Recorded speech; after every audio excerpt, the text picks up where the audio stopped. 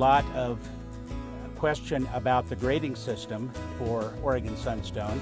It is a rather difficult stone to grade because there's so many different variations. In working with gemologists and appraisers, we have fine-tuned the grading system. My name's Don Buford. I'm one of the owners of Dust Devil Mining Company. This is my 20th year in the High Oregon Desert mining Oregon Sunstone. Terry Clark and Steve Hackler, who are two of my partners, sat down with the first major parcel of stones that we had cut and developed a grading system because there was no grading system for Oregon Sunstone. We were very, very critical of the stones and came up with four different categories for red or green or red-green bicolor and three different categories for pink schiller. Today I'm going to give some examples of the variations and how I determine what grade they are.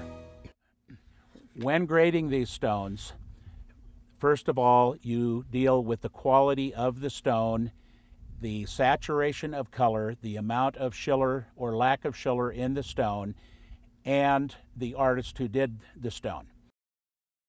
The simplest, of course, is the champagnes, which have just a very, very pale yellow color. We call them clears.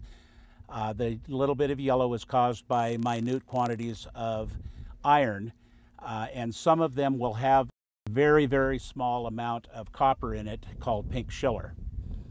The next grade that we would have would be the A grade schiller, which the schiller is the copper platelets that lie between the lattices. An A grade schiller is one that has a lot of copper in it, but is not a real, real bright stone. They're, they're pretty, but they don't have a lot of flash to them.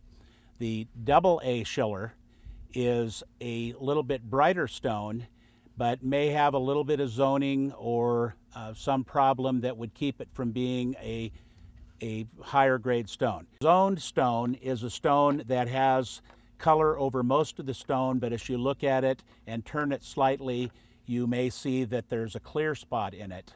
Uh, it may, may be that you see it face up or you may have to tip the stone a little bit. Uh, zoning will lower a stone grade by at least one grade and possibly more depending on how bad it is.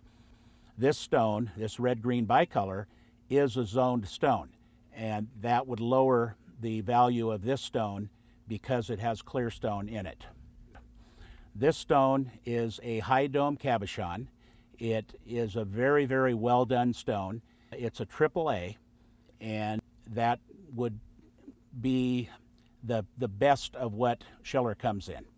The stone here is another freeform cabochon, and it's got red, green, and pink Schiller bars in it. This is a very, very rare combination and in a very, very well done stone, I would place this at the 4A level on cabochons.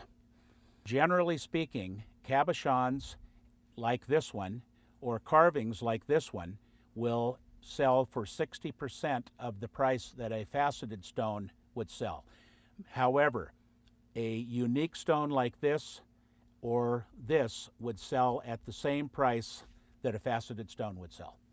This piece is a triple A Schiller, and on the inside of it, there is fit a 3A red. Schiller is the least expensive of our colored stones, but the size of this stone makes it very unique, and the fact that it's carved into a flower with a red center makes it even more unique. This stone would be in the 3A Schiller range plus the 3A red uh, range, which would make it a, a high grade stone. And because this was done by one of the top gemstone artists in the world, it would add value to it because of the artist. This is something that is fairly new to the gemstone world, where people are doing very unusual stones. The appraisers are starting to say that you need to put the name of the artist down with the stone and that it'll be more valuable if the artist has won a lot of competitions, the same as a painting by Picasso would be worth a lot more than a, a painting that somebody copied.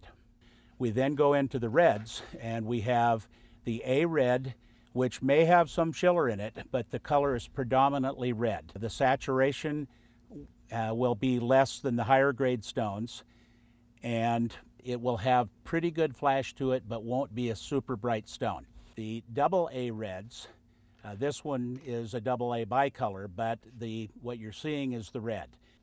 The double A will be a stone that has a little bit better saturation of color, meaning the, the redder the stone, the better, as long as it has some clarity to it. The, the schiller is something that has some effect on the stone, but not a negative effect. A triple A red or bicolor or green is a very, very well saturated stone, has very good color, is a, a well cut stone, and doesn't have any zoning. It could possibly have a little bit of schiller in it if that schiller makes the stone more attractive and more unique. Over here we have some examples. Here is a red-green bicolor and all green Oregon sunstones are dichroic. That means that the same spot of color in the stone will be green on one axis, it will be red on one axis, and the third axis can be either red or green. If it, the third axis is pink, then it's called trichroic. This is a very, very rare phenomena that uh, very few stones in the world display. The other thing about these red and green stones is that if cut properly, they sometimes will color change just like good alexandrite. In the, the red category, we have a 4A red which is perfect red color and no zoning whatsoever, perfectly cut, and may have a schiller bar or feather that runs across the table of the stone that actually makes it a prettier stone than it would be otherwise. A well cut 4A red sunstone will look like it has a light inside of it glowing out. After we came up with this grading system, a publication called The Guide, which keeps track of wholesale prices uh, for gemstones all over the world, uh, used our system for appraising stones and setting a value on wholesale stones.